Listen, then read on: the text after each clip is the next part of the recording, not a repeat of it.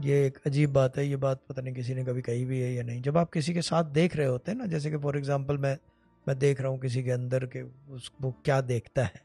क्योंकि मैं वही देखूँगा जो वो क्या देखता है।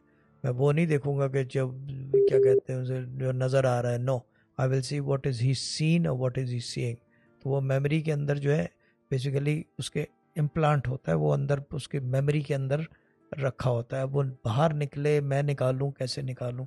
तो वो चीज़ ये है कि आसान तरीका ये होता है कि जो देखा होता है वो देख लेते हैं, जो देख रहा होता है वो देख लेते हैं और जो आगे होगा, जो देखेगा, वो भी देख लेते हैं।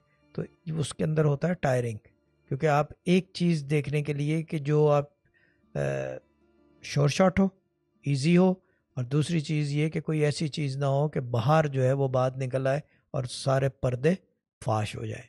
तो ये ध्यान रखना पड़ता है, वो जो है थोड़ा सा माइंड के लिए टायरिंग हो जाता है यहाँ पे जो है ना इट बिकम्स टायरिंग उसके लिए थोड़ा ब्रेक लेके फिर दोबारा कर लेते हैं बट डजेंट मैटर डेथ को मज़ा आ गया, कह रही है कि जो देख रहा है हाँ ये ऐसा ही है कि वो चीज़ ये है कि ऐसा ही है। सोच पढ़ना तो हर एक का काम है। माइंड रीडर्स तो बैठे हुए हैं, मगर वो जो देख रहा है या देख चुका है, वो देख देख के दिखाए कोई मुझे।